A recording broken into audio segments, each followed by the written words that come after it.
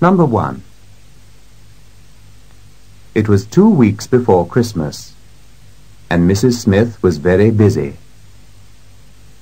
She bought a lot of Christmas cards to send to her friends and to her husband's friends, and put them on the table in the living room.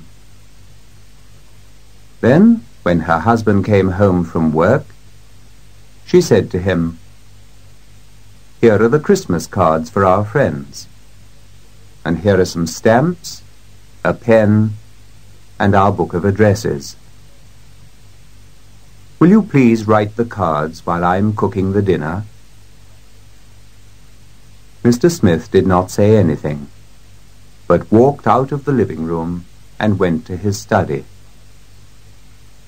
Mrs. Smith was very angry with him, but did not say anything either.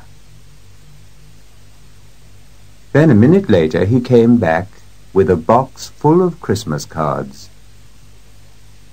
All of them had addresses and stamps on them. These are from last year, he said.